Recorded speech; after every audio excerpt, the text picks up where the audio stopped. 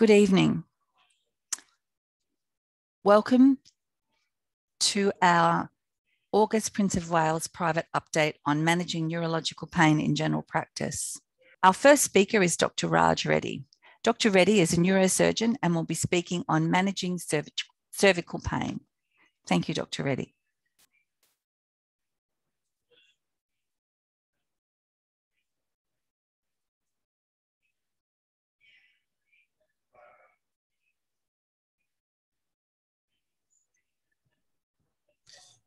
Uh, good evening, all. My name is Raj Reddy. I'm a neurosurgeon with a practice uh, that encompasses both cranial and spinal surgery in both adults and children. Now, patients with neck as well as low back pain will be very common presentations in most of your practices.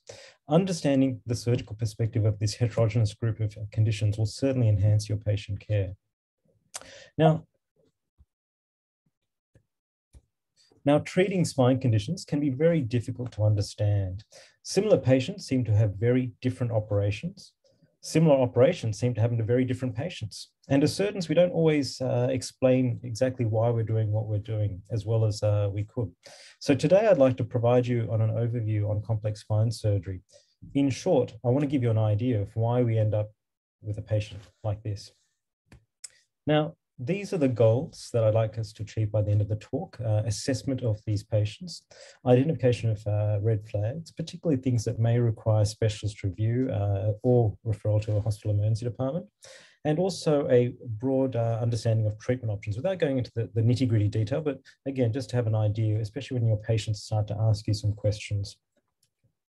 Now, I'll use an interesting case study to uh, illustrate a number of important points.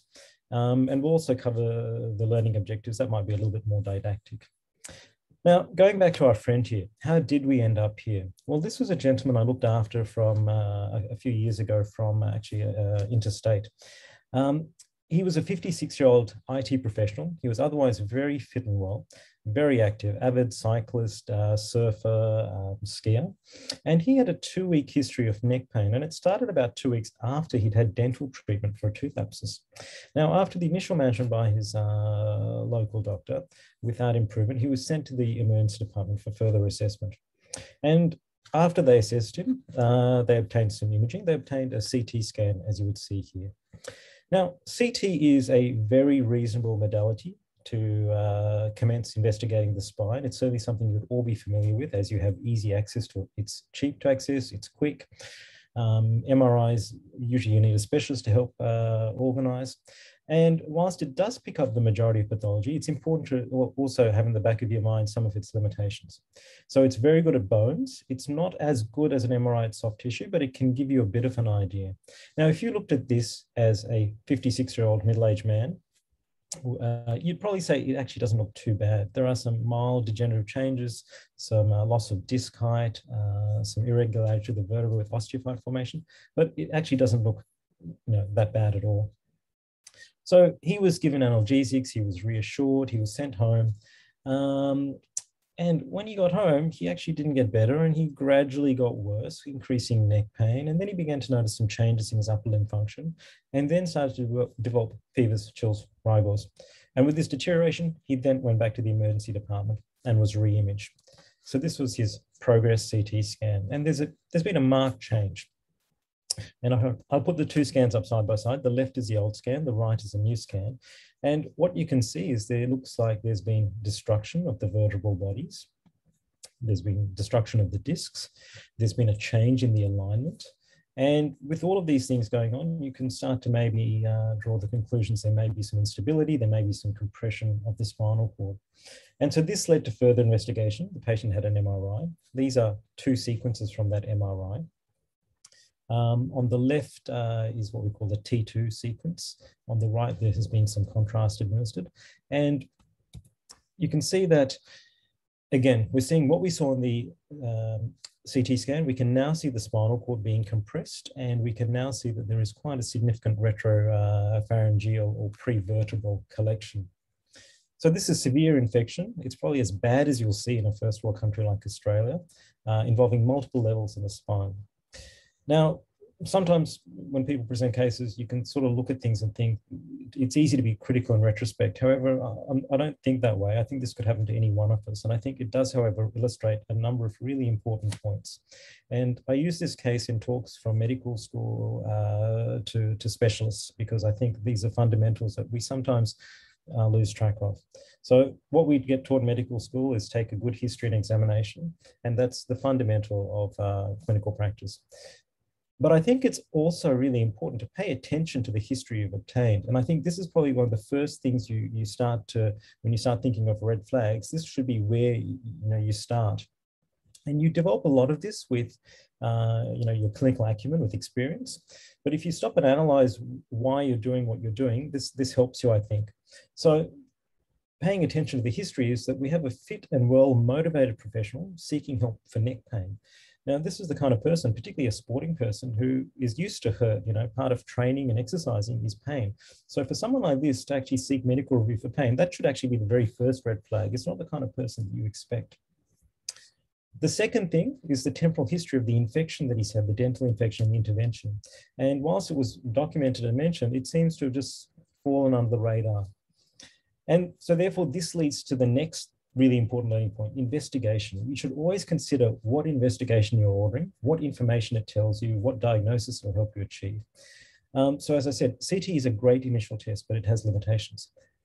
That doesn't mean everyone needs an MRI.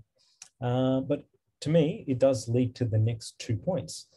Um, again, in my practice, I'm sure in your practice, there's an expectation for us to have all the answers uh, immediately, and that's not often the case.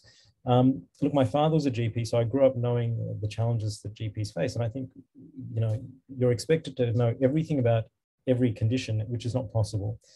Um, and the way you can sort of make sure you're not missing things is to have great follow-up, uh, because sometimes time is what helps us make our diagnosis. So I think it's important to have that clinical follow-up. And it's also important to have radiographic follow-up.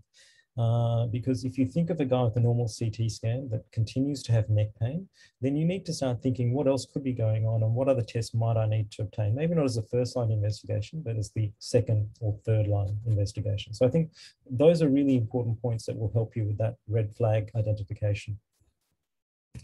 Now, when we think of spine conditions, we can start thinking of the symptoms that uh, they cause in our patients, and these can be broad. Uh, uh, these can be grouped into a few uh, categories.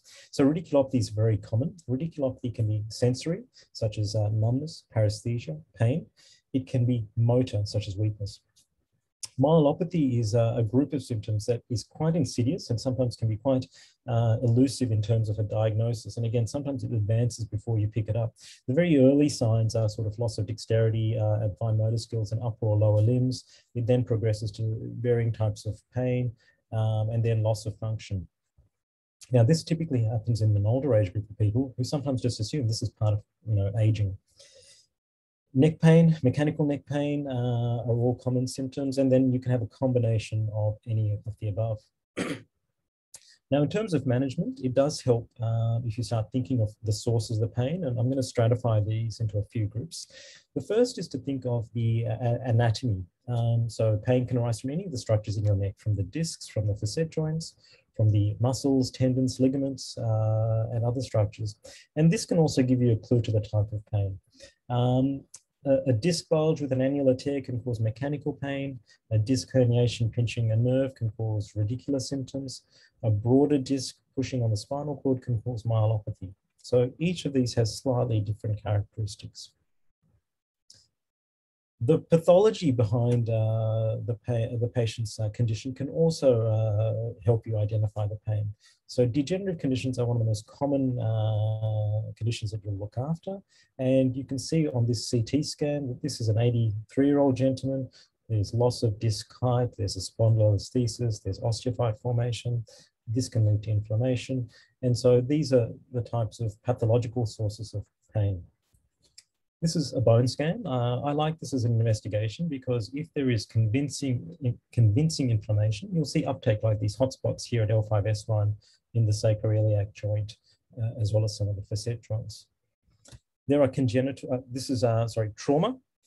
So here we have an L2 burst fracture, T9 fracture, obvious source of pain. You'd also have the history that goes with this to help you with your diagnosis. Um, and then we have congenital uh, causes of pain, such as this um, high-grade spondylolisthesis, where you have the L5 vertebra almost falling off uh, S1, and infection, as, as we know from our case study. Now, right at the bottom, I put psychosomatic. This certainly accounts for a lot of um, pain, uh, and everyone has a different pain threshold. And pain is such a complex thing in terms of the psychology behind it. But it should, in some ways, always be the diagnosis of exclusion, uh, just so that you're not missing any of the other causes. Another thing about causes of uh, spine pain is that the spine is a mobile organ, and therefore abnormal movement can also be a source of pain. So instability uh, can be a source of pain. Um, congenital uh, sort of um, connective tissue disorders can lead to hypermobility of joints. Uh, when we think of our modern computer age, where we're all sitting in front of computers or using iPhones, postural changes can cause pain. And as you get older, deconditioning and loss of strength can also uh, cause uh, pain. Now we move on to the red flags, and I apologize for this busy slide. Um, as you can see, most uh, of these are also very common uh, with other neurological conditions, also medical conditions. And these are really the symptoms and signs that should raise your suspicion about sinister pathology. They should lead to further investigation to you have a diagnosis. Um, and the cause of the, and, and, potentially lead to specialist referral or referral to an emergency department.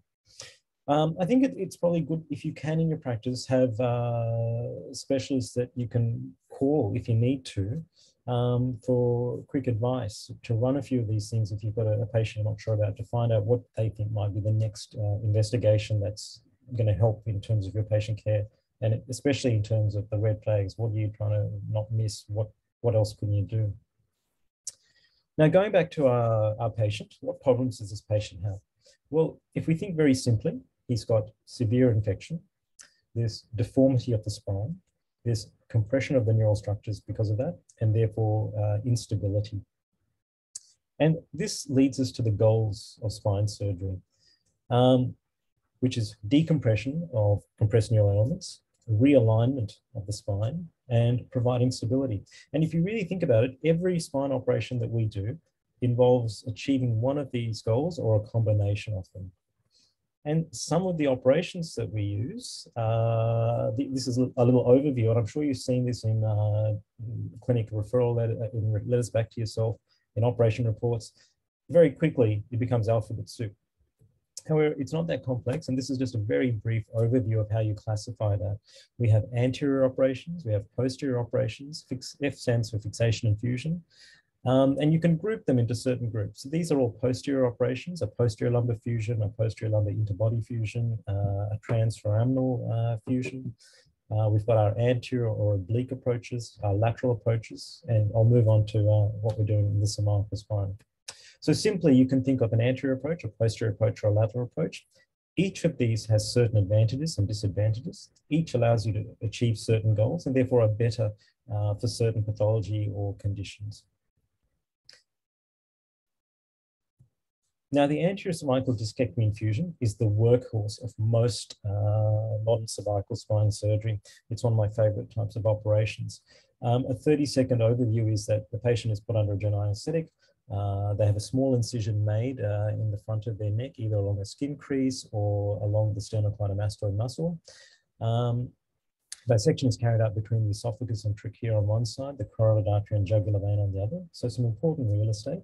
Once we're at the front of the spine, we then remove the affected discs. Uh, we sometimes may remove the entire vertebral body. Uh, we decompress the spinal cord and nerves, and then we reconstruct the spine with either um, uh, cages or implants, uh, or even sometimes even the patient's own bone. It's a very elegant operation in terms of the anatomical dissection. There's minimal muscle damage. The patients have very little wound pain but you're dealing with some complex and critical anatomy. So it's something that maybe not every surgeon is as au fait with, but it's something that most operations for the cervical spine would involve this. A variation of this is to do an anterior cervical discectomy and total disc replacement. These are a number of implants on the market. Obviously, every company tells you that they're the best, but really what's more important is picking the appropriate patient, the indications, and they're very similar to anterior cervical discectomy and fusions in terms of their outcomes. Now, the rationale for disc replacements isn't necessarily just to preserve motion, as you can see here, but it's actually to shield the stress uh, on the adjacent levels. These devices, they're mechanical devices, they're mobile devices, they aren't perfect, and so they can fail, and therefore they need much longer term monitoring and follow-up than a fusion. So that's one of the downsides.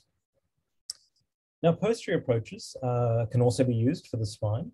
Um, we can either do simple decompressions, such as a laminectomy of the spinal cord of the individual nerve roots, uh, or we can also do this in association with a fixation and fusion.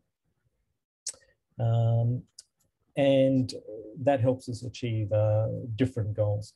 These are typically a bit more painful in terms of operations. Many segments can also be treated uh, quickly, uh, but you can't approach uh, anterior pathology very well. Now, we're on the home stretch. This last section is to give you a brief overview on decision making uh, as to procedural choice, and some of it relates to what I've described above in approved options. So an important consideration is really the direction of the pathology. Anterior pathology is best treated from an anterior approach and posterior from a posterior approach. Some pathology needs a combined approach. So this patient with multiple spinal fractures, they needed a long segment fusion, which can be best done from a posterior approach. This patient, you can see, has near complete uh, destruction of this vertebral body. Uh, there's a pathological fracture. This patient has metastatic cancer. There's going to be some degree of compression of the spinal cord, and it's an imminent risk. So this needs uh, a, a, major operation where you're essentially, in addition to treating the tumor with resecting it, you're reconstructing the spine. So this needed uh, almost a 360 degree operation. So these are the pedicle screws uh, to provide the posterior stability. Using the posterior approach, we could remove some of the ribs. These are the lungs underneath the pleura.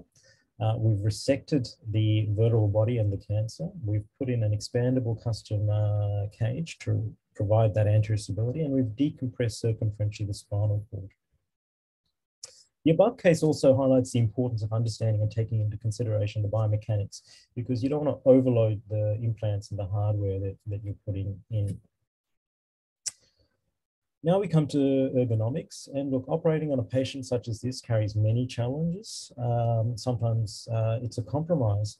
Now this was something I approached from a posterior point of uh, view, but sometimes a lateral approach might be better where you can let the abdomen fall out of the way and uh, get a more direct approach to the spine. And lastly, decision-making, there, there's a degree of logistics, what equipments you have, um, theatre time availability, whether you need other surgeons to help you with your access. Now, I'd like to complete by going back to our case study. And as I said before, we've got uh, issues of infection, neural compression, deformity, and instability. And that helps us understand the operation that this man needed. He needed the infection treated, and as you know, with pus, you've got to evacuate it. So with infection, particularly when it's involving certain structures, you've got to remove them. So he needed a, a four-level uh, corpectomy, removing the vertebral bodies, removing the discs. Then he needed the reconstruction. And what we use is a bit of his own iliac crest. And this is a CT scan. And if I just scroll through, you'll see that there's this piece of long piece of bone that we've used to replace the vertebra.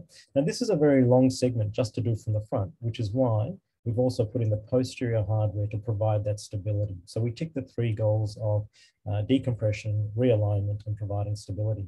Now this is a major operation and, you know, obviously as GPs, you will see these people a lot more than some of the other specialties that I show this talk to.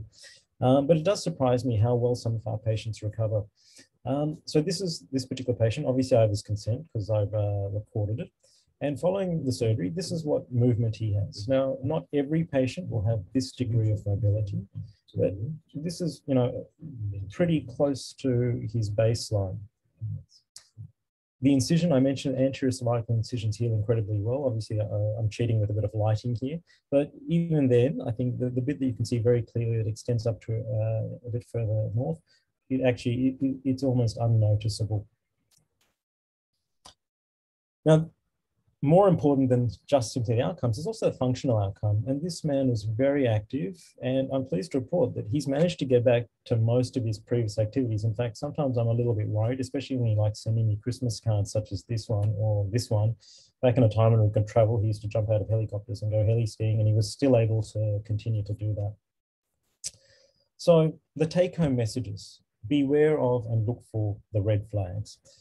Um, really, neurological deficits, particularly as a neurosurgeon spine surgeon, should really uh, drive your um, imaging and specialist referral.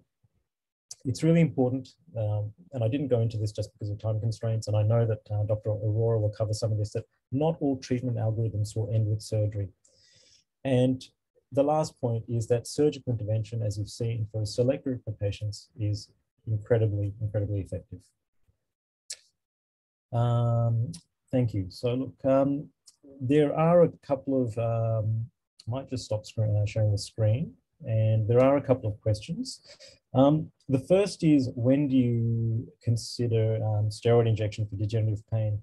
So I think that's a, a, very good question. And when you think of a steroid injection, there are a number of targets you can use. In the cervical spine, the two targets you'd be using for a steroid injection is either the facet joint or a nerve block. Um, so those are two types. In the lumbar spine, you would have those, but you would also have um, an epidural injection. Now, I think it's a very good part of your treatment uh, strategy. And I always tell patients it's a, a, stepwise approach. You start off with maximizing your non-operative treatment, um, which I think Dr. Arora, Arora will cover. You then move forward to analgesics, simple, try and avoid opioids. You then try your targeted cortisone injections, and then you start thinking about surgery in the absence of red flags. With um, steroid injections, uh, if I'm using a facet joint injection for neck pain, I like to get a SPECT scan to highlight targets. That will give you the best way to maximize your um, uh, effectiveness. If it's radicular pain, you try and go for the nerves that are the most compressed. If it's diffuse back pain with an annular tear, then in the lumbar spine, I would use an epidural. Um, Another question is, is intervertebral cement still used in any situation? Look, the answer is yes. It's a very effective treatment for certain things. Um, those of you may know that there was a study done which looked at trying to debunk it. I think it was not a great study. It didn't really pick a good patient group, nor did it pick good outcomes. Um, but in the right patient, it can. And so the right patient, uh, to me, has um, three features. The first is they've got a good history of mechanical pain. The second is that their imaging matches that, um, and you see compression occurring or compression fractures. Um, you might even see uh, increased uptake on a bone scan. And the third is that they're fit for the procedure and maybe other procedures are not better. So to me, it's something in older patients that have compression fractures that are still showing um, uptake on a bone scan, so they're still hot. Um, we sometimes will also use it to provide support for the hardware we put in, because sometimes the hardware is stronger than the bone, and by filling the bone with cement, it gives us better fixation and, better stability. Um, next question is surgery still recommended for patients with worsening scoliosis? Um, look, that's a, again a very broad question, and you can break it into, I guess, a few different age groups. You've obviously got the pediatric uh, age group, uh, in which if uh, conservative measures, bracing, and other things don't work, surgery is still an option. And that's probably a more common group of patients that have scoliosis surgery. Um, in adult patients, it does become a little bit more challenging because they don't always recover from these operations as well as uh, a younger patient. I recently consulted on a gentleman in his uh, 70s who had spina bifida, had a fusion uh, for scoliosis when he was uh, 19. They didn't fix his curve, they stabilized it, and he's fused in that uh, question mark kind of shape. And he's now getting symptoms from uh, respiratory compression, uh, which, is, which is usually an indication that you should treat it. The problem is, I don't have a great operation for him because he's already fused his entire spine. So someone who hasn't had an operation that develops visceral uh, uh, compression, um, it, you can get gastric compression, so it can affect uh, you know organs. You would think of uh, if they're a surgical candidate, you would think of uh, fixing a, a worsening scoliosis. I try not to operate on worsening scoliosis just for pain, particularly in young sort of 20, 30 year olds because I don't think they do quite as well. I think the trade-off you get in terms of the stiffness and therefore potential loss of function, as well as the, the future potential for adjacent segment disease, they're not going to be thanking you for it. Um, any other questions? it's a, as, as I said, um, probably a point I made earlier, it's, it's a large group of patients. Uh, it can be challenging. Um, one of the things, this is a little bit philosophical, in uh, 2021, in, in our country, people don't expect to be in pain. Um, and unfortunately, pain is a part of life. And we can't always eradicate it, but we can certainly investigate it to fix the important things that can be fixed and try and come up with, you know, other strategies for things that can't be fixed with surgery. So thank you very much, Dr. Reddy. And we um, might move on now to Dr. Peter Wilson. He is a neurosurgeon and will be speaking on managing cranial pain. Thank you, Dr. Wilson. Hello, thanks for the introduction. I'll just share my screen there. All right, so cranial pain is quite a quite a big topic. Uh, I'll try to focus on what interests me as a neurosurgeon and what would concern you, particularly in regards to what you don't want to miss in your um, your personal practices. So headaches uh, is a type of cranial pain. It's not the only type of cranial pain per se, uh, but it's extremely common. Uh, there is quoted figures of 48.9% of uh, the community having headaches at any one point in time. And generally, people will have headaches. Uh, 95%, 95% of the population will have a headache at some point in their life. I do see occasionally patients who say they're just not a headachy person. And so that would be a first uh, concerning point. But headaches are extremely, extremely common, as I'm sure everyone here knows. Uh, to put it in perspective, the one year risk of a malignant brain tumor is 0.045%. As a neurosurgeon, we certainly see these cases. Um, to give you an idea of the epidemiology, there should be a neurosurgeon for every 100,000 people or so. A GBM, which is a malignant brain tumor or a glioblastoma, happens about five per 100,000 people per year. So relatively uh, uncommon, but certainly you don't want to miss it. 90% uh, of the time, there won't be an underlying lesion, uh, but sometimes in, there can be what's called a secondary headache where there is an underlying cause, and that's less than 10% of the time. The challenge is to not miss a significant pathology. You want to be sensitive in your clinical decision making, uh, but you don't want to uh, over investigate patients as well. And there's a big crackdown on, uh, particularly in the community GPs doing CTs and MRIs for headaches. Um, ultimately, sometimes imaging is the only way to truly identify what is going on. So the first thing I would say is to watch out for red flags. These are the patients you really don't want to miss. Uh, that's because red flags generally represent a dangerous or progressive pathology, uh, and often the prognosis can be better with early intervention. And this usually uh, relates to structural lesions. Uh, so infection's a big one because they can be fairly rapidly progressive. Neoplasms uh, sooner rather than later, maybe weeks to months. Hemorrhage and vascular lesions, again, can be quite rapid and congenital and acquired lesions uh, may not be uh, progressive, but they can actually be treatable. So I did provide a, um, a, reference to the sort of red flags you should look for. This is a fairly exhaustive long list. Uh, I'm not going to be able to cover all of these just in the interest of time and just from the scope of things. Um, sorry, someone in the background there. Um, but I'll try to cover the, the main ones that will be uh, you don't really don't want to miss in your um, daily practice. So the first one is for if patients have fever or systemic infections. Uh, these can be potentially life-threatening if there is associated headache. Uh, not so much from a neurosurgeon's point of view, but from the community point of view, you don't want to miss a meningitis, particularly a bacterial meningitis. And a brain abscess particularly has a very poor natural history, even though they are rare lesions. So brain abscesses are notoriously inconsistent in how they present. Uh, the classical clinical triad of headache, fever, and neurological deficit is actually pretty uncommon. This is one uh, table from a, a, fairly large study looking at the frequency of the various symptoms, and you can see there's actually a broad range of symptoms. Altered level of consciousness between 10 and 100%, depending on the study. Um, all these things are signs of concern, um, and certainly if they have two or more of these features, you have to be worried and have a low threshold to investigate. Where did the brain abscesses come from? Again, it can be very varied. Uh, up to a, half the time, it can be from a local disease, such as from sinusitis or middle ear infection, or uh, from a dental abscess. Uh, it can be hematogenous, typically from infective endocarditis, but even a small skin abrasion can be enough to spread um, bacteria to the brain. Uh, it can be cryptogenic in 40% of the time. We, we don't even know where the infection came from. And there can be direct inoculation. So someone has a laceration that gets infected or a head injury or certainly post-surgical. Mortality can be quite high, uh, depending on which series you look at. That has improved significantly over the years and decades with better antibiotics, early imaging, and better surgical techniques.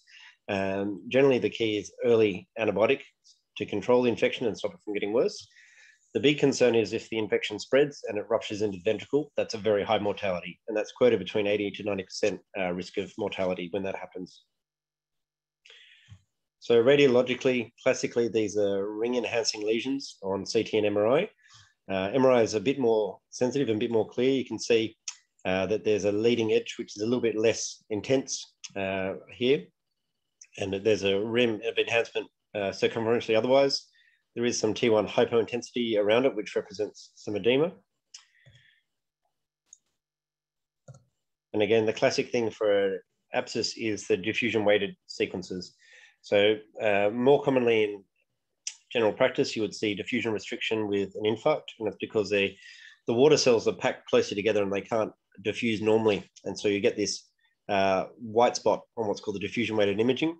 Um, you can get T, what's called T2 shine through, such as uh, this white spot here. It's a little bit brighter here, but if you look at the what's called the uh, apparent diffusion coefficient, the ADC, that's bright on the ADC, whereas a true diffusion restriction is dark here.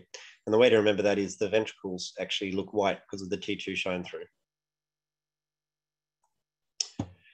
So neoplasms are another one that you really don't want to miss. Um, brain metastases, certainly in adults, are the most common, and they represent more than half of intracranial tumors. Uh, interestingly, in 10 to 30% of adults with systemic cancer, they will have brain metastases at some point, and they generally are carcinomas, uh, lung, breast, kidney, colorectal, and particularly in Australian melanoma. Uh, it is rarely from the prostate, but that is possible. Uh, I think disproportionately from the number of sheer number of patients who have prostate cancer, a very small number will go to the brain, but certainly I have had patients where uh, prostate cancer can go to the brain. Uh, it's not always surgical management. It generally requires a multiple, multidisciplinary team in regards to a radiation oncologist, a medical oncologist, and a surgeon. Uh, the key is generally early referral is better and early detection is better because that will give the patient the best chance neurological deficit, just like with the spine, is a real red flag. So uh, I'm sure everyone here is very well educated that stroke-like symptoms are somewhat something of an emergency. Uh, time is brain, as they say. And that can be simple things such as speech disturbance, visual disturbance, uh, motor deficit or clumsiness, or sensory disturbance. And that can actually represent a broad range of structural lesions. The key with this is that um, you really can't rely on clinical acumen alone if someone has progressive neurological deficit. I've seen so many times where patients have been managed by other specialists or um, in other hospitals or all over the world where the clinical decision is made to say, look, everything's fine. Oh, no, things are progressive. We don't need to do any scans.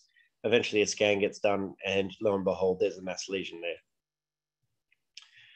In regards to urgent problems, a sudden onset headache, or so called thunderclap headache, is uh, an emergency of sorts.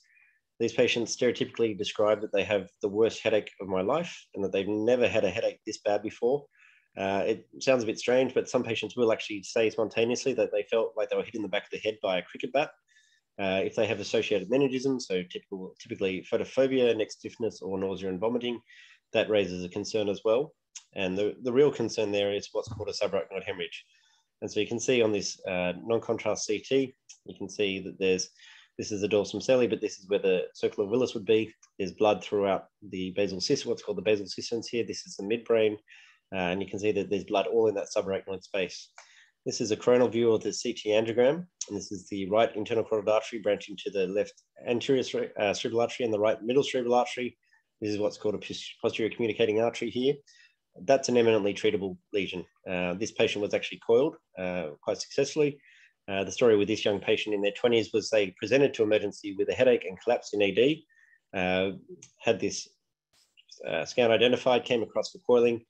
I honestly thought she wasn't going to survive. She's now currently um, awake and alert and just recovering from her hemorrhage. So aneurysms, subarachnoid hemorrhage are of particular interest to neurosurgeons because they can be so unforgiving and such uh, terrifying conditions, really. And the irony is that aneurysms are actually fairly ubiquitous. Three to four percent of the population will have an aneurysm. but the annual incidence of subarachnoid hemorrhage is only six per 100,000 per year. So as a neurosurgeon, you'd expect to see about six or so per year. 80% of the time it's aneurysmal, 5% uh, of the time it's lesional. And so if we can't find an aneurysm, we'll look for another lesion, such as an AVM or a fistula. The only way to really rule out a fistula is with what's called a DSA, a digital subtraction angiogram. 15% of the time, it will be what's called a paramesencephalic, and that just means around the midbrain. Um, it's not really understood why this occurs. It's thought to be venous hypertension in the basal system that causes the subarachnoid hemorrhage. Uh, the reality is we do know with these patients that their risk of re-rupture is basically the same as the rest of the community. And the other interesting thing is they do tend to recover significantly faster than an aneurysmal subarachnoid hemorrhage. And just to put it in perspective in regards to how dangerous, dangerous an aneurysmal subarachnoid hemorrhage is, uh, a third of people actually will drop dead on the spot. And so it's actually a relatively common cause of sudden death. A third of people will have prolonged disability, whereas a third of people will have full recovery, and that's with maximal treatment. Uh, the other concern is that with an aneurysmal rupture, even if someone has just a mild headache, that if they re-rupture, it can be devastating. Mortality is quoted about 50%, and from data back in the 80s, we do know that there's about a 4% chance of re-rupturing within the first 24 hours. And it might be after something as simple as just a, what's called a sentinel headache. Uh, it's 1.5% per chance per day for the first two weeks thereafter, which makes up about 20% risk of rupture within two weeks. And you can understand why we're quite keen for these patients to be uh, identified early. So we've got a chance to secure that aneurysm either with clipping or coiling and prevent further rupture. There is a morbidity with clipping and coiling, are in the order of 5 to 10%. Uh, really depending on the aneurysm location, local anatomy, and other factors. There is some data from a fairly big trial which does show that if there's equipoise as to which is uh, feasible to secure that aneurysm, the short and long-term morbidity and mortality is actually less with the coiling. And so that's how the majority of aneurysms are treated in the 21st century. Uh, raised intracranial pressure is another sign of concern. Uh, this can be related to a mass lesion and it can also not have a mass lesion. And these are stereotypes. This is really from the history more than anything else. These headaches are generally worse with uh, lying flat and when relieved when being upright. Patients often wake up because of the headache because they've been lying flat overnight. And Valsalva maneuvers with coughing, sneezing, and straining will often make the headaches worse. Not all patients have those uh, symptoms or descriptions, but they are relatively common when I say that there might not be a mass lesion, the entity to be aware of is what's called idiopathic intracranial hypertension or IIH. Uh, it's a little bit of a confusing term. As a medical student, I remember learning about pseudotumor cerebri and didn't really understand what that was. Um, that was thought because they didn't, people didn't really understand why they had these symptoms, even though there was no tumor there. And also benign intracranial hypertension, which has been dismissed because it's really not benign. The reason why that's the case is that patients can actually go blind with prolonged uh, progression. The investigation and diagnosis is a little bit complicated, um, but it is interesting that they can have, again, a broad range of symptoms, but mainly headaches or visual disturbance. There are relatively strict criteria, and basically what it is is they have raised intracranial pressure, pressure with normal CSF, normal imaging, uh, no neurology other than a six nerve palsy, and the key thing is the elevated lumbar puncture opening pressure. And you can see this graph at the bottom that shows as the pressure goes up, they're more likely to have raised intracranial pressure. Chiari malformations are actually a really interesting one as well, and something that we see relatively common in the community. Uh, the reason being that their prevalence is quite high, about one in a thousand people will have a Chiari malformation. And again, in medical school, it wasn't really well described what this was. So talk of Arnold Chiari malformations and so forth. In simple terms, there's crowding of the foramen magnum, which is where the brainstem leaves the skull to become the spinal cord. And where you have the cerebellar tonsils, they they pass down through the foramen magnum and they crowd the foramen magnum to make things a bit tighter than they should be and don't permit normal CSF pulsation. It can have a very broad range of presentations and it can be a completely incidental finding to actually having a broad range of neurological deficits. Uh, interestingly, something that I've come to appreciate is that whilst there may be changes which look impressive on the MRI, that doesn't necessarily correlate with the extent of symptoms. And that's actually been um, shown in a study I'll show you in a second. So this was a lady in her 40s who had terrible headaches. You know, she couldn't function. She just couldn't get out of bed. She was totally miserable. This is the midline sagittal T1 scan. So you can see the nose here. This is the top of the head. This is the top of the brain. This is the brain stem. This is the cerebellum. This is the foramen magnum here. And you can see there's some cerebellar tonsillar herniation and things are very tight at the level of the foramen magnum. Ultimately, it's a, it's a binary decision on how to manage these patients. There's no injection or, or conservative treatment to try to resolve things other than pain management. Basically, surgery involves doing a cut through the back of the, the skin of the neck here, removing this bit of bone and decompressing the brain at the base of the uh, skull here. And you can get a good result like this. You can see that there's no pressure on the brainstem or the cerebellum there, and the CSF flow is improved, and the patient symptoms will often improve. In regards to the extent of how far the tonsils go down, so this study was the one I was referring to, where it actually showed that if they looked at patients with zero to three millimeters, three to five millimeters, or more than five millimeters, stereotypically the definition was that it needs to be more than five millimeters. Interestingly, the patients with even a small amount of tonsillar herniation had even more symptoms, uh, and certainly the most pain, which seems to be the most common presentation. And again, this is a table of all the different presentations. Um, there's a huge list of um, potential symptoms and signs here. And I think the takeaway message for Chiari malformation is that if someone reports something that just isn't right, and it's something that's particularly troublesome for them, you have to assume it's a Chiari malformation until proven otherwise. By all means, investigate and try to make sure there's nothing else in the spinal cord and so forth. Um, but you cannot dismiss these patients. And I've seen many patients who have been dismissed by multiple um, other practitioners who have said, you know, these problems you have are not related to the Chiari malformation. And when they finally get the diagnosis confirmed and they have their surgery, they're so relieved that someone would listen to them and would actually help try to help them. Post-traumatic headache is another one that you need to be concerned of. Uh, this is a bit more straightforward. So even after a minor trauma, um, the classic one is extradural hematoma with the concept of talking and dying. Even a small laceration of the squamous temporal bone, which is quite thin on the side of the head, that can actually lacerate the middle meningeal artery and cause a small arterial bleed. The point with that is that the bleeding won't stop until the raised intracranial pressure overcomes the systolic blood pressure. So you can have a small lesion, and in young patients particularly, they can actually have just a headache, but not be too bad, be awake and alert and be talking. That blood clot will slowly get bigger and will get to the point where they rapidly deteriorate with a massively raised intracranial pressure, and they will deteriorate very rapidly. So again, if someone has a head injury and they have a persistent headache or there's any concern, you have to err on the side of, of caution that something bad may be going on, particularly with a temporal blow. A subdural hematoma, um, such as this one here, this is a patient of mine from a few years ago who was in a remote center, had this acute subdural. We accepted the patient. Uh, he was a bit more headachy when he arrived, so we repeated the scan, and you can see that the subdural hematoma is significantly bigger. Seeing that, even though he was awake and alert and following commands, we took him to theatre fairly promptly. In the anaesthetic bay, as we were getting ready for the operation, he actually deteriorated and lost his level of consciousness. So the anaesthetist was on hand to intubate, and we got on with the surgery fairly quickly. And he thankfully survived. So it's something that, you know, if you saw that original scan, you could say, oh, we'll just repeat the scan in a few days. But you really have to treat these, um, these pathologies very seriously. Chronic subdural hematoma, particularly in elderly patients, um, the general rule, if it's more than a centimeter thick, uh, generally on the coronal view, they're unlikely to resolve spontaneously. So again, this is a patient who had some mild headaches following his uh, dialysis, um, had a scan done, and then was actually on the bus home because he was felt very well. Uh, there were some frantic calls from the renal physicians to get him back to the hospital because this was identified. Uh, I admitted him over the weekend. Um, it was in two minds about letting him go home because he was so well. He actually had very minor headache, um, really no neurological deficits at all. Um, he was alone at home, so I admitted him. And then over the following few days, he actually got worse, more drowsy, more confused, and we had to wash out those subdurals. And I was very glad that we had admitted him because if he'd gone home, he would have died. So, in regards to cranial pain, trigeminal neuralgia is actually more cranial pain rather than headache. Typical trigeminal neuralgia is very unpredictable in regards to its um, occurrences. It can be a static electric shock like pain. It's consistently in the location of one or more of the branches of the trigeminal nerve. Uh, it can often have a particular trigger, such as chewing, talking, brushing your teeth, uh, brushing your, putting your hair against a pillowcase, or even wind on your hair.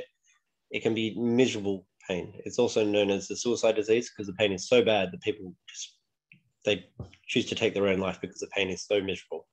Uh, that needs to be differentiated from a typical neuro, trigeminal neuralgia where the pain is a bit more consistent and there's more of a burning sensation.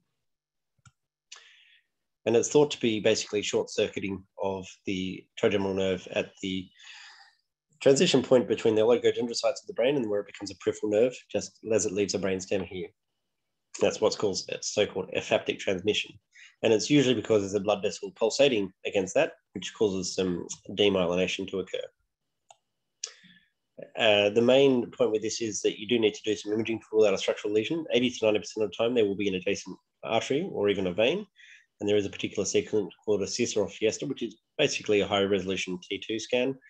Uh, you do want to make sure they don't have multiple sclerosis because that's a slightly different beast. Microvascular decompression isn't likely to be helpful and they need to have that uh, investigated and managed by neurologists.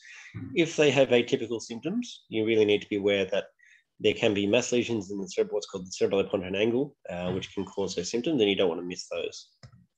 So this is an example of a fiesta or a CISS scan. The patient had right-sided disease, so right trigeminal nerve, left trigeminal nerve. You can see there's this vessel right on top, just where the nerve leads the brainstem here. And they had terrible headaches, which were improved with once that um, what actually turned out to be the superior petrosal vein was contacting the nerve. Altered facial sensation, like I said, these are ones you don't want to miss. Uh, this was a patient referred to me a few months ago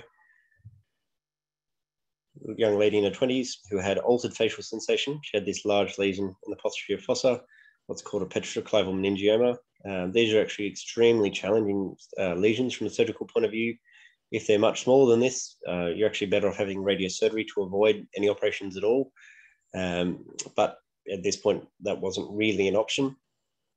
She had surgery, all went well. Uh, you can see the trigeminal nerve on the right hand side is flopping around in the breeze. Uh, like I said, these are very challenging lesions. I don't think any surgeon really likes doing these operations because they can be quite long and dangerous and very, very unforgiving. And the point that I'm trying to make is that early detection is much better uh, because it will make a much easier time in regards to the treatment options. How to manage trigeminal neuralgia. Now, interestingly, it's actually mainly a medical disease. So often neurologists will look after this or even in the community. Uh, it actually responds really well um, to anti-epileptic, anti-epileptic agents, particularly carbamazepine, where the number needed to treat is two. I'm not sure in regards to baselines of other medications, but that's pretty impressive in regards to how successful that is. There are other neuro, neuromodulators available, as you all know, um, which is a bit beyond the scope of what I can talk about. Surgical treatment, uh, there's a few options. The best treatment is actually to de directly decompress the nerve, as I alluded to earlier. Um, that's fairly risky because it's a very important part of the brain. And so the risk of a stroke or a hemorrhage can be devastating. The alternative in a patient who's medically unwell is to actually damage the nerve and actually coming through the front of the face, which at first glance looks a little bit horrific, but it's actually a fairly straightforward thing to do. It only takes about 15 minutes or so. And the idea is that we damage the nerve as it leaves the foramen ovale here. And you can do that in a few ways. I use a balloon to compress uh, the nerve and to basically cause a neuropraxia. You can burn the nerve with what's called a radiofrequency ablation, or some centers they poison the nerve with glycerol in regards to the outcomes, uh, it's fairly well established in the neurosurgical literature that the best result is actually dealing with the underlying pathology. So if there's a vessel pulsating against the nerve, the best thing is actually to decompress that nerve and to relieve that pulsation. Uh, the success rate certainly isn't 100%, but pretty good at 87%, compared to about two thirds uh, with the ablative procedures. Complications are higher in regards to percutaneous procedures, but that's mainly in regards to numbness. Uh, the risk of anesthesia dolorosa or painful numbness is higher, which is a devastating complication, to be completely honest. Um, but it is a morbid procedure. And so, certainly in an elderly patient, it's not such a good option. And the other thing to bear in mind is this is once all the uh, pharmacological treatments have been exhausted. So, just to summarize in regards to which uh, which patients should you be worried about and refer to ED or um, just have imaging or can you just manage in the community? So the ones who really need to be sorted out quickly are the ones with neurological deficit or stroke-like symptoms. And I don't think I need to lecture anyone about that. I think that campaign has been done very well. Um, that time is brain, and often we'll get calls that a patient has a stroke call and they find a mass lesion. That's very straightforward. The sudden onset or thunderclap headache, uh, again, because the subarachnoid hemorrhage can be so devastating, particularly in regards to the risk of rebleed. If there's a concern of fissures or recent infection, uh, as you all know, bacterial infections generally progress without uh, active treatment. A recent head injury can, again, they can progress relatively uh, rapidly and can be life-threatening. And progressive symptoms, which are relatively rapid as a general rule, is something that should not be dismissed. When should they have outpatient imaging? So if someone has facial pain with trigeminal neuralgia, uh, particularly with the typical uh, trigeminal neuralgia, they should be investigated mainly to rule out other lesions. If there's concerns of uh, intracranial hypertension, uh, that can often be just managed as an outpatient. And if a lesion is found, referred as appropriately. If there's no lesion, um, it may just be simple measures to try to control that. If there's a history of malignancy, like I said, there's a quite a high rate of tumors, and so the yield is actually relatively high. And if the symptoms are slowly progressive, so most things in regards to pain and aches and what have you get better with time. If something isn't getting better and if something is generally getting worse, that's a reason to up the ante. When to observe. So this is going to be 90% of the time if they don't have any red flags. And the main thing is the primary headache disorders. So tension headaches are extremely common. Um, again, I don't need to lecture anyone here on how common they are and how to diagnose those. Uh, I think everyone here has probably had a tension headache at some point. Migraine is extremely common.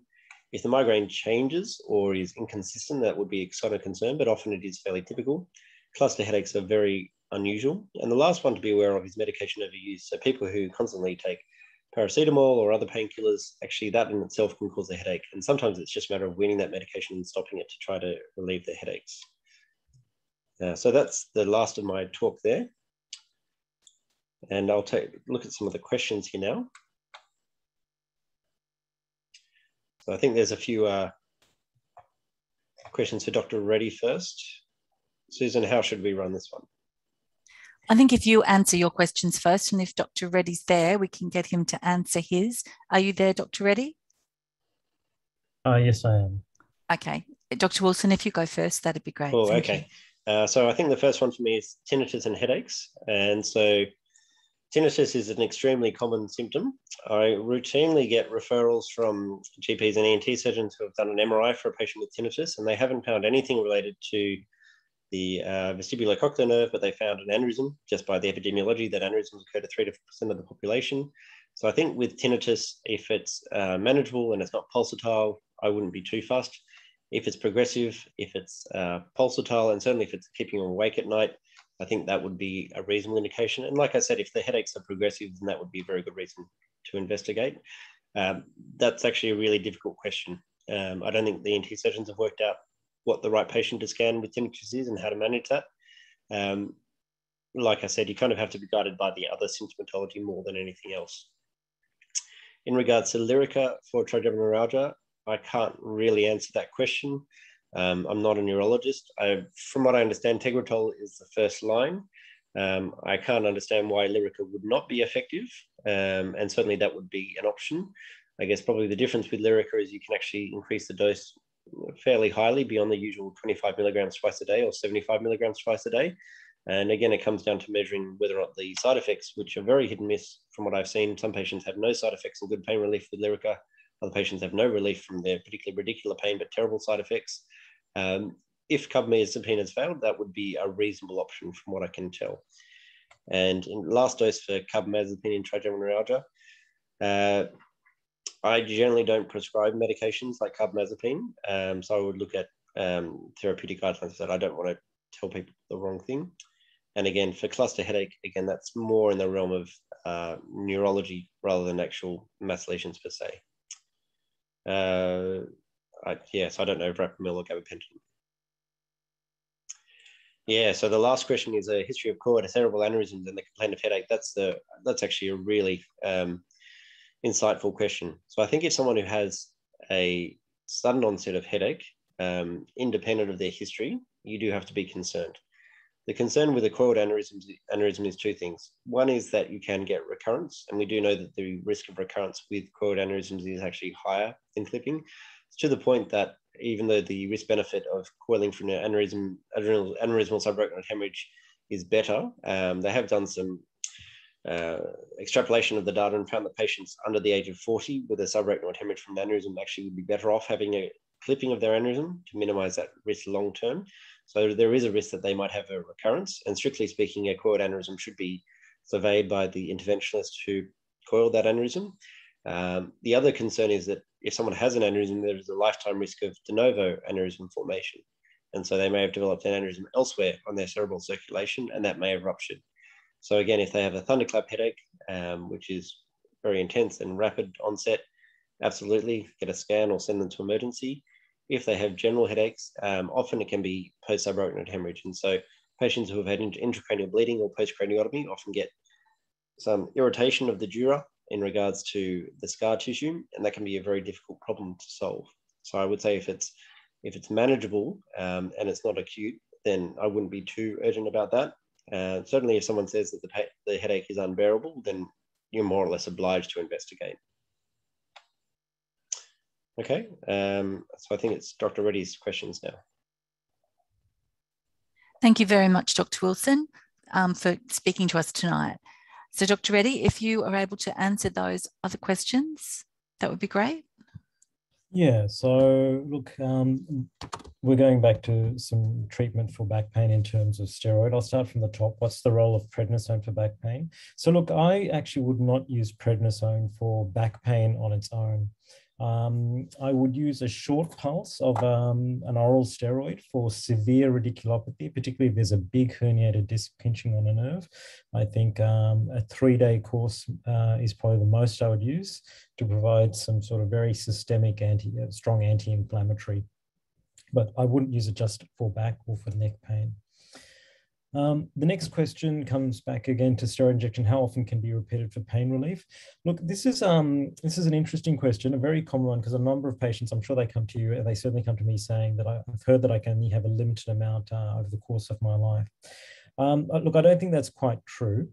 Um, I think you have to balance how much benefit uh, you get versus um, the downsides. Now, cortisone is not as invasive as an operation. Um, usually it's done under CT guidance. So there's a small amount of radiation with the procedure. But the real downside with cortisone is that it's very variable in its effect uh, in terms of how effective it is and how long it lasts. So I've had patients that have uh, an excellent result for a day or two. I've had patients that have an excellent result for months. So usually what I tell patients is it comes down to your underlying pathology if you need a cortisone injection once or twice a year, that's fine. If you need, if you're only getting two weeks of relief, I don't think you should be having uh, injections every two weeks. You also have to factor in the patient themselves, their age. Um, you know, if you there's a very uh, there's a big difference between treating a 60 year old uh, versus a 95 year old. A 95 year old, you know, you're really going to be pushed trying to justify an operation in terms of uh, their medical condition and are they going to tolerate a general anesthetic. So I don't have a certain, a, a definite number for steroid injection. To me, it's just that um, my general rules are, you know, no more than one every three months. Um, and Susanna has asked, uh, one of the red flags for spine pain is young age, less than 50. Um, look, the reason for that is that, you know, young people really shouldn't be getting a lot of back pain. Now, obviously, if you're a manual laborer and you're stacking bricks um, or something very physical repetitively day after day, yes, you're going to get some pain from that. Uh, but having said that, if that's the kind of job you're doing, you also, when you've seen these patients, you know, they build up the muscles, they build up the capacity. Um, and there's a bit of self selection. You know, people that are not that physically adept probably don't gravitate towards physical jobs. So it's something that you, you should always just be a little bit worried about if uh, someone young comes in with a complaint of pain a, really good analogy is that patient that I described to you before, you know, a 56 year old motivated professional, very active, very sporty, comes in complaining of neck pain that's just not getting better, that that should be a red flag that something else is going on. This is the this is an unusual symptom in this particular uh, age group. Um, now, there's one other question. I'm happy to answer it, or I don't know whether Peter wants to answer it. I can give my version. Look, at this stage, you know, I think all of us are getting uh, overwhelmed with um, questions on COVID. Um, I hope I'm not being political, but I think there's been bad, um, uh, bad explanation from the politicians on vaccines. I've got a very simple answer to patients uh, in terms of vaccines. I usually tell them that there are a very small group of very specific contraindications, but in general, um, every medication, every vaccine has a risk of side effects. It, it, can be very small, but there's a, there's a list. And the risk of a vaccine is probably far less than the risk of getting COVID. Um, that's the simplest way I tend to answer most of my questions. But you know, P Peter also um, gets a lot of these, and he may also have a take on uh, answering that question as well. Yeah, I would agree with agree with Dr. Reddy that more or less it's um, you have to look at longer term that the there are maybe some risks with the COVAX, and particularly in individuals who are contraindicated per se, but overall the risk of um, morbidity, particularly neurological problems uh, such as death, is significantly higher if you have become infected with COVID than if you have the vaccination. Uh, there has been some updated um, data in regards to the AZ versus the Pfizer. Um, I don't have the reference at hand, but I think in the Lancet recently, with very large numbers, they showed that the risk is actually more or less the same with the Pfizer and the AZ in regards to uh, the thrombosis and so forth. So my general, uh, what I would say to patients, unless there is a very clear contraindication, they are far better off to have the vaccine than not.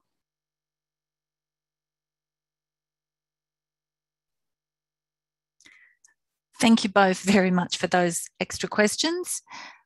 Okay, so now I would like to welcome uh, Dr. Pooja Arora, a rehabilitation and spinal medicine special, specialist, and she will be speaking on non-surgical management of cervical and cranial pain. Thank you. Hello, everyone. And so my name is Pooja Arora. I'm the rehab physician and I work at Prince of Wales Hospital. Uh, can you all see my slide, Susan?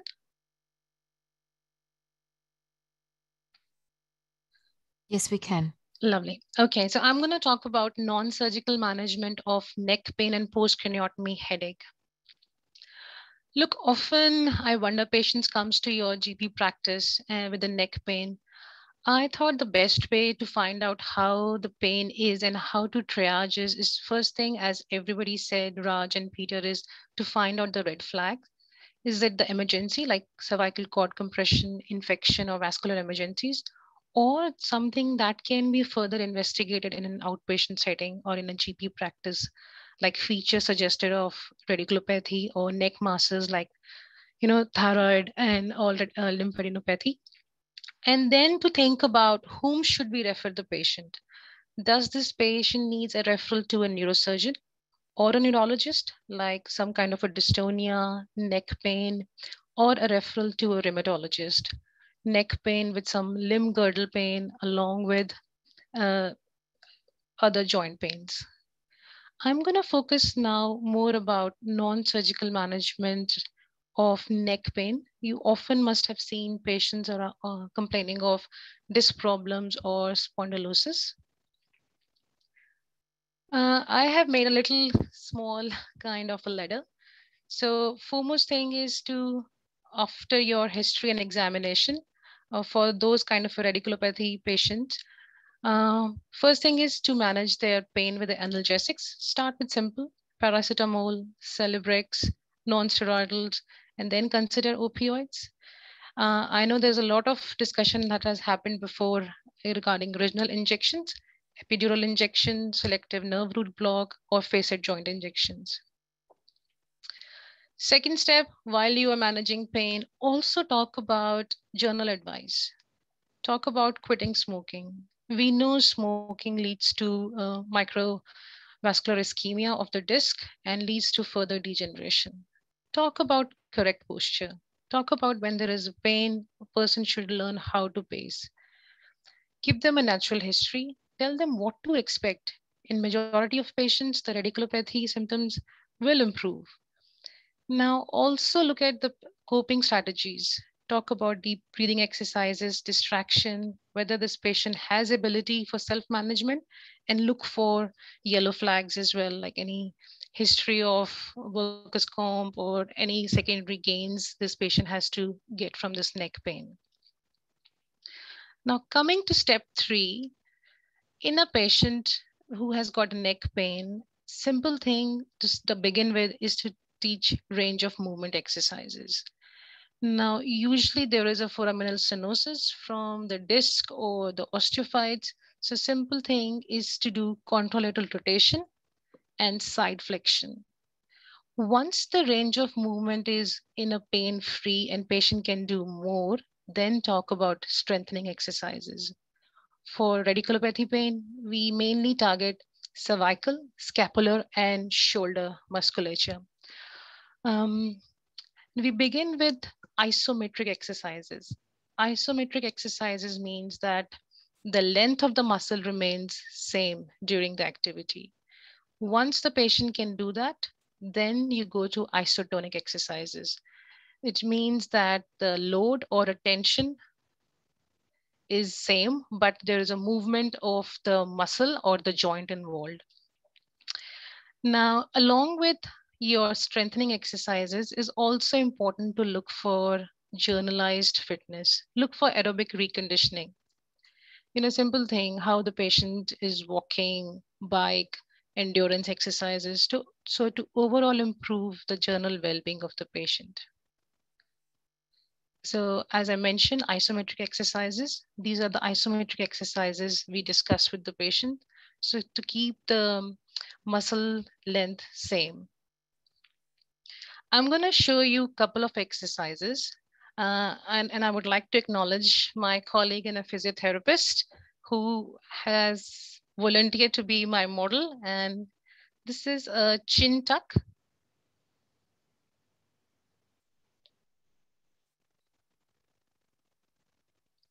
So this is for cervical muscles strengthening. This is chin tuck with extension.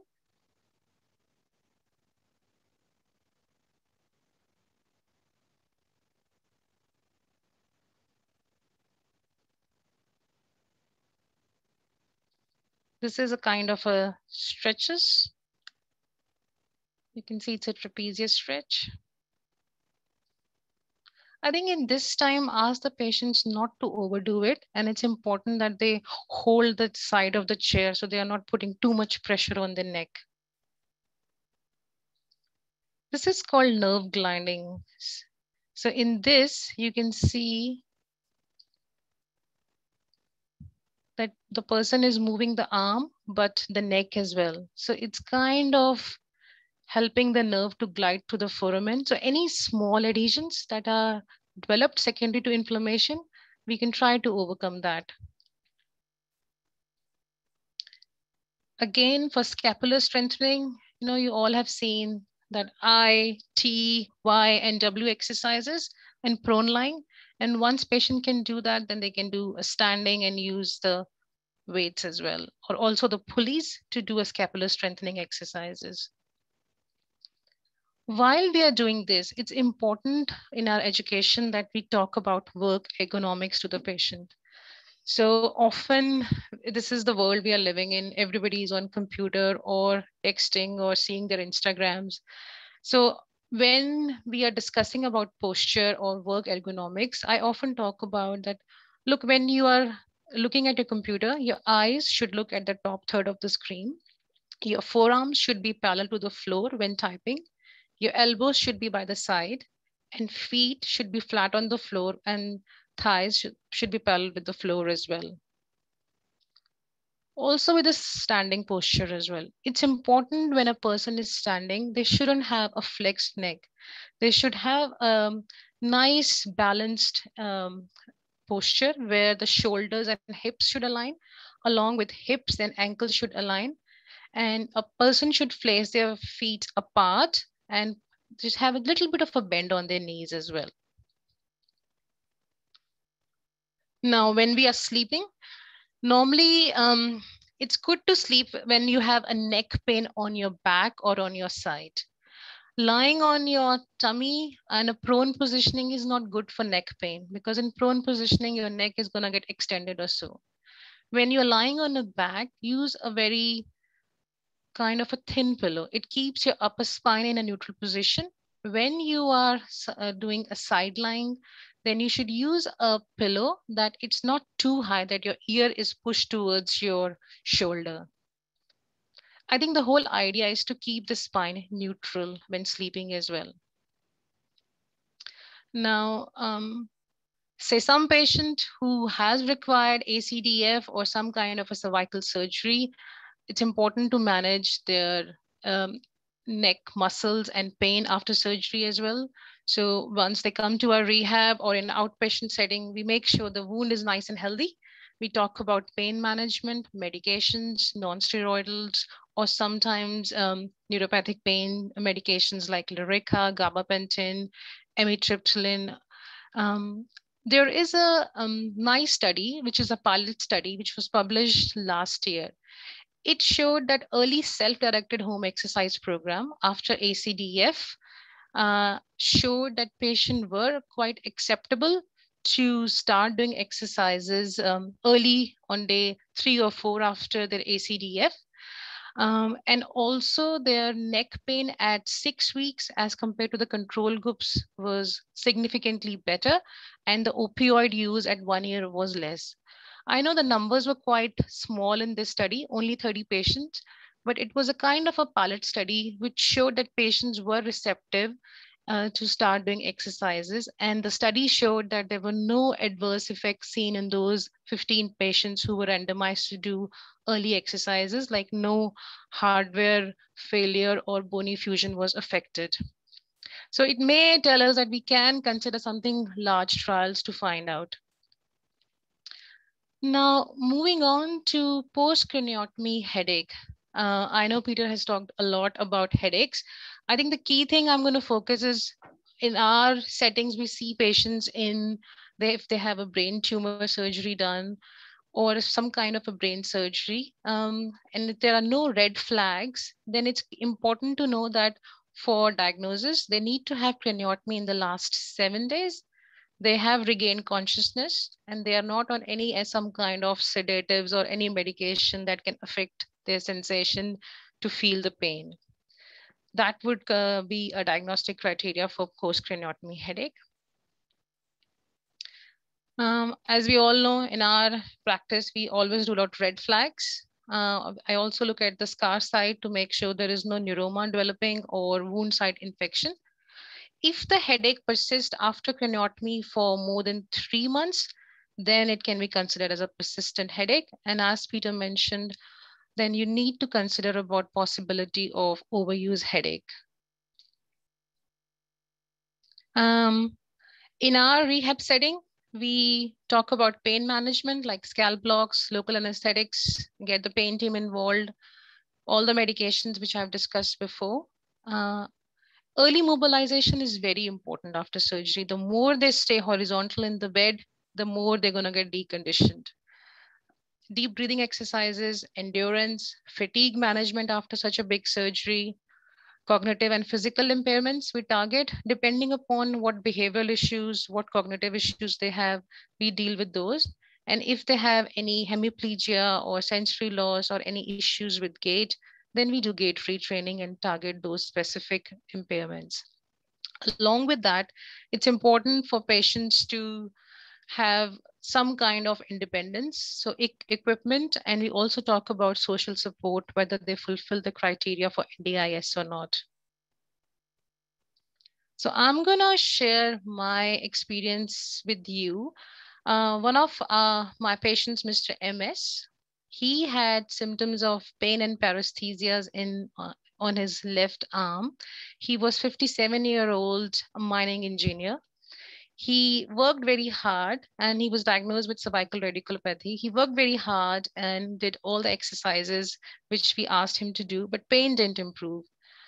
Um, his MRI scan showed radiculopathy due to disc prolapse compressing the C8 nerve root. So he was referred for a neurosurgical opinion. He underwent C7 to T1 decompression in February 2021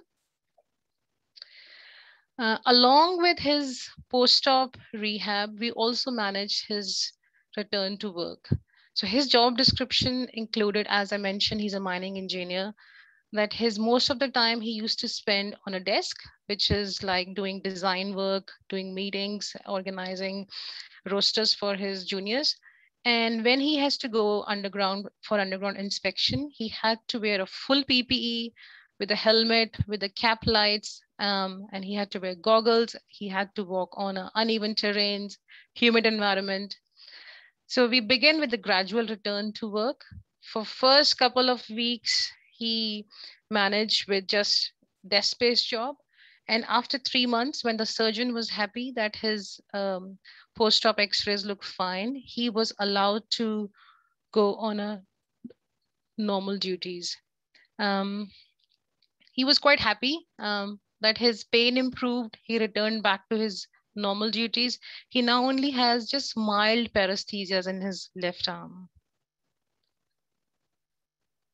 He's off Lyrica now as well. Um, now his permanent restrictions from the surgeon is lifting restriction to 20 kgs, and he should avoid heavy and repetitive tasks. Other important things, simple things, but they do make a difference. I had a patient who was always on his um, iPad while waiting for day rehab. Uh, so, and he used to come for a teaching, for training sessions for his neck pain, and we noticed he's always head down looking on his iPad. So we, ta- so we talked about iPad mounts and stands. And also there is a new app coming, something to consider like uh, that's called Text Neck app, um, where you can see that if a patient has a not a good posture, the red flag will be displayed on the phone. So it's on a real time. Patient will know that, okay, my posture is wrong. I have to correct it right now. So coming to my last slide, take home messages, know the likely cause for pain, talk about pain management options, pharmacological, and then go to non-pharmacological as well, which is like doing exercises, starting with range of movement, strengthening exercises, see how patient is going, how patient is progressing. If there are any barriers and if there are no improvement happening, then dial a friend and refer to a specialist. Thank you.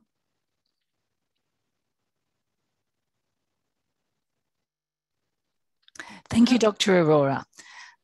Um, I think there is a question there. Is that question for you in the so, question box? Susanna, your question is for neuropathic pain. Which one is better, gabapentin or Lyrica slash pregabalin? Look for post-spinal pain. Now we have a level one evidence that Lyrica is um, definitely far better.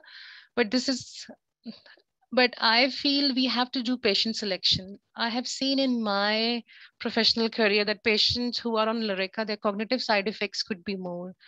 So patients who are elderly and they have more chances of getting delirium, I start them on a gabapentin.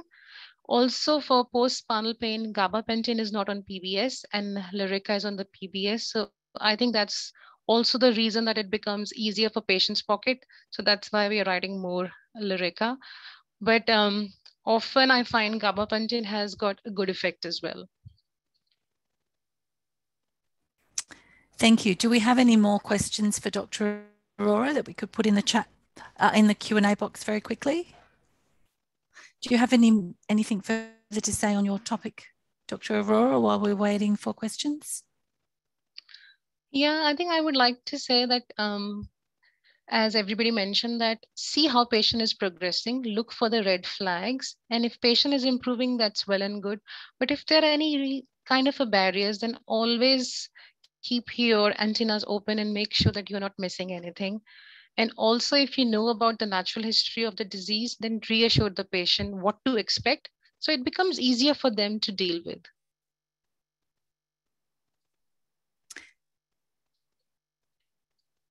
We have another question coming in from Dr. McGully.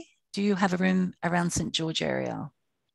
Uh, so Susan, I work with uh, Raj and Peter at Prince of Wales Hospital. Uh, so I share the room suite three as well. And in public, I work at Prince of Wales Hospital. Do we have any other questions? If you could put them quickly into the Q&A box, that would be great. We'll just give it another minute. And while we're um, waiting, I'd just like to thank all of you for presenting tonight and giving us your time. It's been very informative. So we'll just give that one more minute and then we will ask Dr. Martina Gleason from Health Pathways to come on and give us a quick Health Pathways update.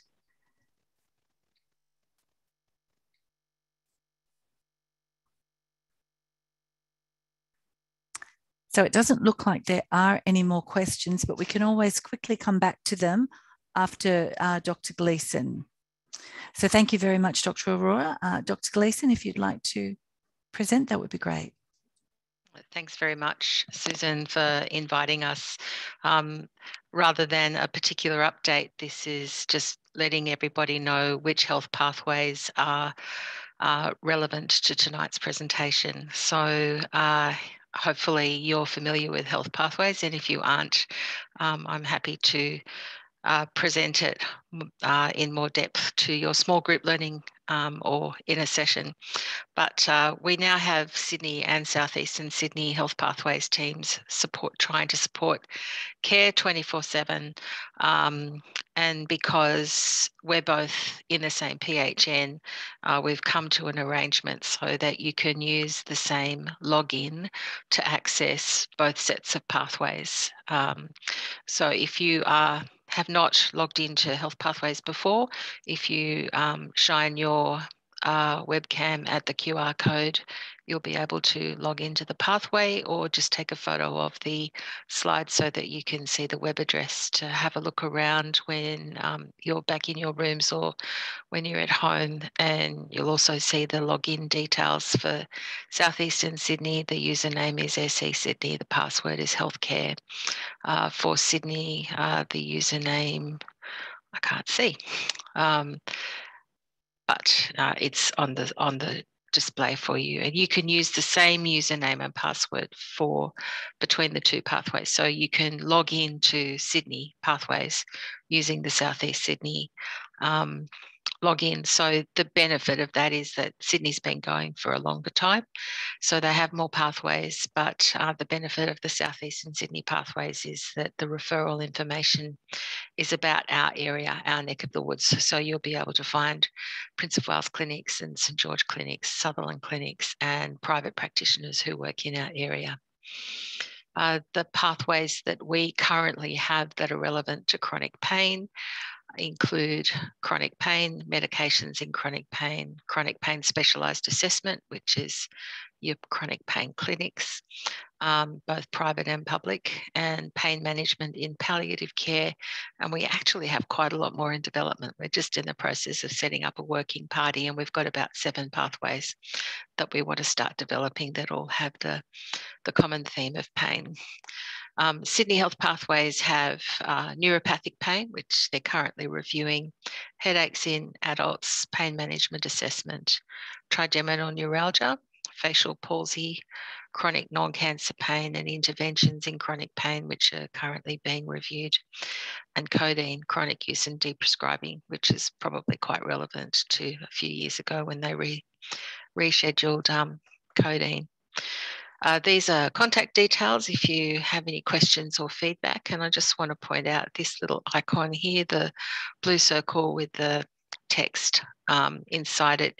Uh, there's one of them on every pathway. So if you want to send feedback saying there's a broken link or this was really helpful or I think this is out of date, have you considered, um, you can just click on that link and um, and it will help you find it. Um, what I wanted to do now was just um, have a, um, sorry, um, I wanted to show you a live demonstration, seeing that we've got a tiny bit of time um, of what Health Pathways looks like. And so if you were, this is the Southeast Sydney front page on the desktop.